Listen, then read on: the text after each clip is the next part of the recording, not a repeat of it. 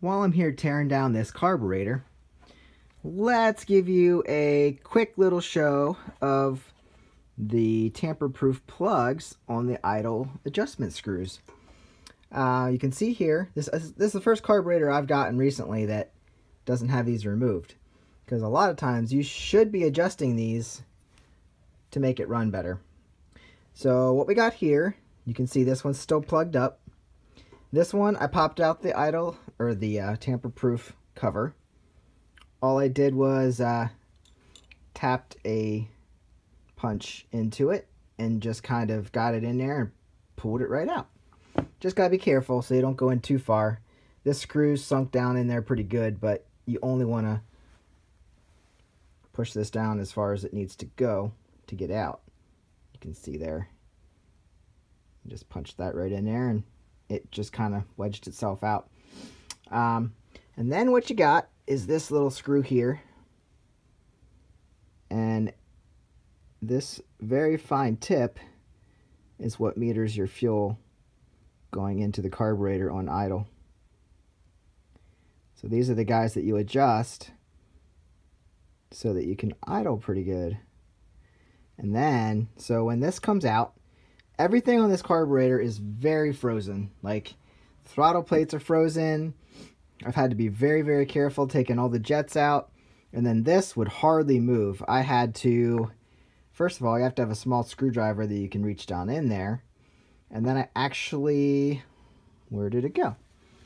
I put this wrench on my screwdriver to carefully turn it because I didn't want to slip off and uh, screw this up. Then I can't get it out. So you turn that out counterclockwise, of course. And then down in there, it probably won't come out with the screw. This spring is sitting down there to keep the uh, tension on the idle adjustment screw. That's basically sitting over top of this. So I just turned it upside down and it dropped out. So I'm going to go ahead and pop this one out. And uh, I just wanted to give you a quick, if anybody ever mentions tamper-proof idle adjustment screws, that's where they are. And then that's going to meter your gas coming up through. Oh, these are disgusting. There's a little hole right there. You see that? Yeah. Because uh, your throttle plates are going to be closed. Because you're not using your throttle. So your gas has to come in. I wonder if I can get them free. I'll probably just run them through the machine. Oh, I got it to move a little bit. Probably not good to force it though. Okay. So anyway, just wanted to give you a heads up on that. And uh, all my disgusting parts on this 94 EX500. It's just been sitting for too long. Everything needs cleaned out. It's disgusting. So that's your main jet holder. These are all your little holes that need to be cleaned up and opened. Then here's your main jet. That is a 130. That needs cleaned up and opened up. And then I had those soaking with uh, the idle jets.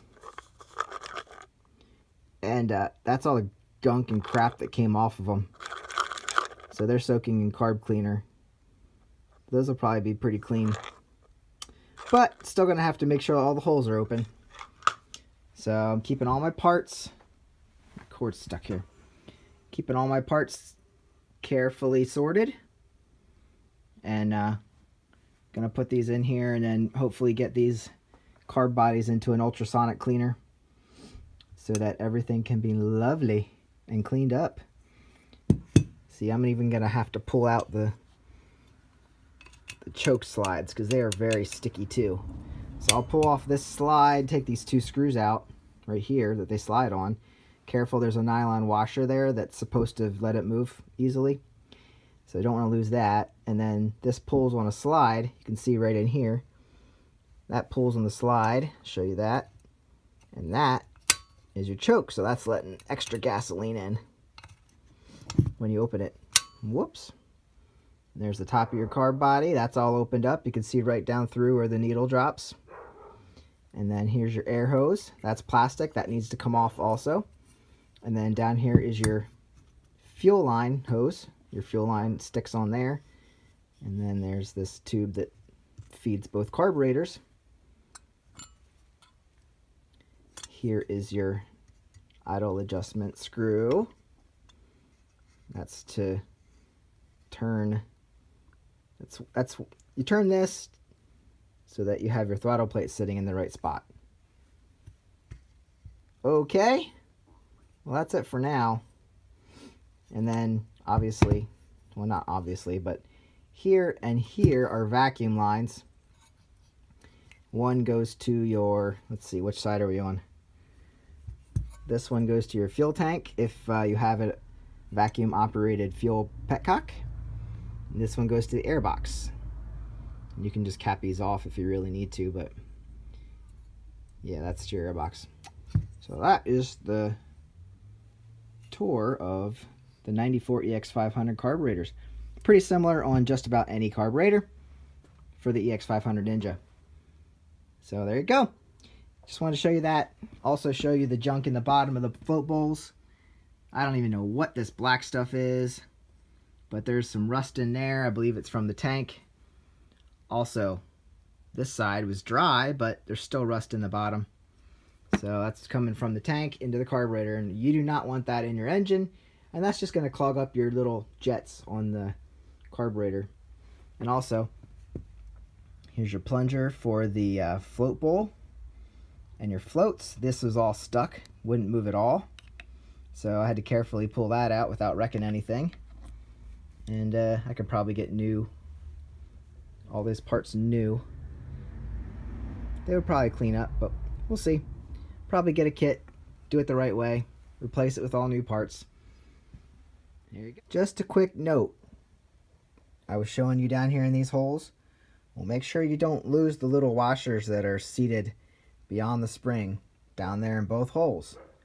Because if you don't know they're down there, they may not come out, but they might fall out at some point. So you want to make sure that these washers are safe somewhere and they're not stuck down in there. If they don't come out, fine, but you might want to clean out that area anyway. But if they do come out, don't lose them because you're going to want to put those back in before you put the spring down there and then before you put the idle adjustment screw back in.